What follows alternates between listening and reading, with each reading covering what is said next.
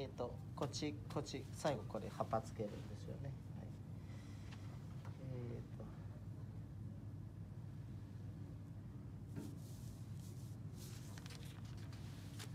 皆さんよくねあの表ですか裏ですかどっちでもいいです。好きな方で、えー、つるつるは表でザラザラは裏ですね。でつるつるの方はなんかね筆滑りやすいと言いますか、えー、まあ僕はあの、えー、普段使っているケースが非常に多いです決まりがないので好きなようにどうぞあそこでねまあ大体あのは目で、えー、3分の2ここ3分の23分の1別にメジャーで測る必要ないんですけど。